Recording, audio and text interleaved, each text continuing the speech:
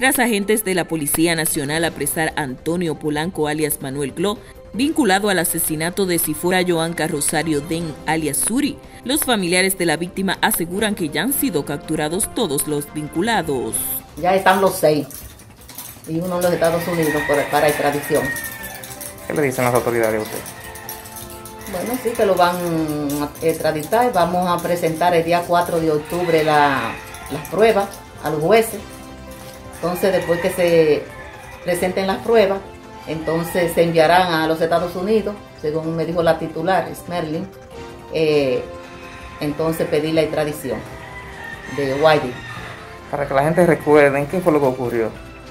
Bueno, mi hija eh, trabajaba en el residencial Netalí, tercero, era administraba ahí.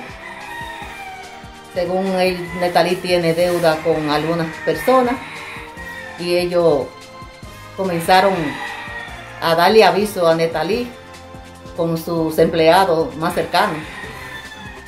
Primero fue un señor que le decían Quiquito y luego mi hija iba a su trabajo a las siete y pico de la mañana.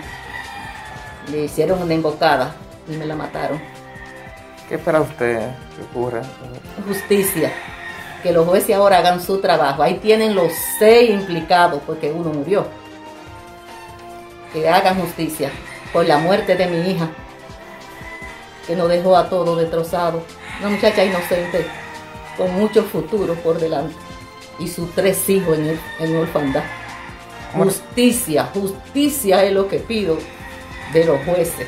Por el hecho se encuentran detenidos Cristian Joel Vargas Amparo, Giancarlos Francisco Ortega y Adonis Jiménez Báez alias El Titi, mientras que fue liberado Carlos Ramírez Ortega Morel alias Carlito A, de 44 años de edad fallecido, y Arsenio Rodríguez Santos.